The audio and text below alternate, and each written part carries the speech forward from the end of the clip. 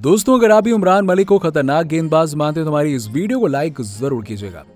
दोस्तों, भारत की हार पर पाक दिग्गजों का आया सनसनीखेज बयान। जी हाँ दोस्तों, भारतीय टीम को न्यूजीलैंड के खिलाफ मिली हार के बाद पाकिस्तानी दिग्गजों का बयान उमरान मलिक को लेकर सामने आया। उमरान मलिक को लेकर पाकिस्तानी दिग्गजों ने कुछ ऐसे बयान दे दिए, जिसको सुनकर आप भी दंग रह जाएँगे। आखिरकार भारत की हार के बावजूद मलिक की गेंदबाजी पर पाकिस्तानी दिग्गजों ने क्या बयान जारी किया, जानने के लिए पूरा वीडियो एंड तक ज़रूर देखिएगा। लेकिन उससे पहले आप सभी को क्या लगता है कि उमरान मलिक, शोएब अख्तर और जसप्रीत बुमराह में कौन है? खतरनाक गेंदबाज। इस बात का जवाब नीचे हमें कमेंट सेक्शन में ज़रूर दीजिएगा। दोस्तों टी के बाद वनडे में परचम लहराने के लिए उतरी भारतीय टीम, लेकिन इससे पहले ही मुकाबले में भारतीय टीम को मिली करारी हार। दरअसल ऑकलैंड के मैदान पर खेले गए इस मुकाबले में न्यूजीलैंड की टीम ने टॉस जीतकर पहले गेंदबाजी करने का फैसला किया, जहाँ पर भारतीय टीम ने पहले बल्लेबाजी करते हुए 50 ओवर में 306 रन सात विकेट के नुकसान पर बना दिए। अब जहाँ पर भारत की तरफ़ से शिखर धवन ने बहत्तर तो वहीं शुभमन गिल ने 50 रन और श्रेयस अय्यर ने 80 रन की पारी खेली।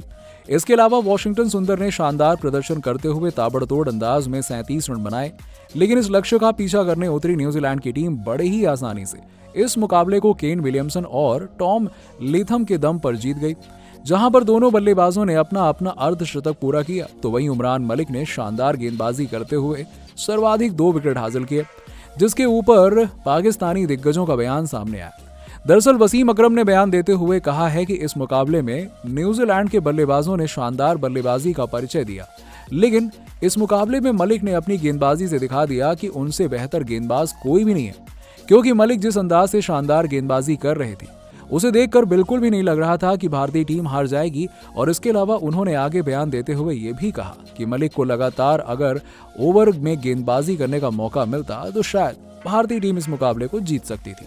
बेशक भारतीय टीम इस मुकाबले को हार गई है, लेकिन मलिक की गेंदबाजी ने सभी का दिल जीत लिया। दोस्तों, इसके अलावा इंजवाम उल्हक ने बयान देते हुए कहा है कि मलिक से बेहतर गेंदबाज कोई भी नहीं है। अगर मलिक शानदार गेंदबाजी करते रहे तो टीम को जीत ज़रूर मिल जाएगी। मलिक ने अपनी खतरनाक गेंदबाजी के दम पर दिखा दिया कि भारत के लिए इस समय उनसे बेहतर युवा गेंदबाज कोई भी नहीं है। इसके अलावा उन्होंने अपने बयान में कहा है कि भारतीय टीम को जब तक मलिक का सहारा मिलेगा, तब तक भारतीय टीम को बिल्कुल भी निराश नहीं होना चाहिए, क्योंकि भारतीय टीम के लिए मलिक एक ऐसे खिलाड़ी हैं जो उनके लिए तुरुप का इक्का है, जो हमेशा बेहतर प्रदर्शन करके जीत दिलाना जानते हैं। तो वहीं शोएब अख्तर ने बयान देते हुए कहा है कि इस मुकाबले में बेशक भारत मैच हार गई हो लेकिन मलिक ने अपनी गेंदबाजी से सभी को इम्प्रेस किया। मलिक ने गेंदबाजी करते हुए दिखा दिया कि जहाँ पूरी की पूरी टीम बेकार प्रदर्शन करेगी तो वहीं पर बेहतर प्रदर्शन कर सकते हैं वो।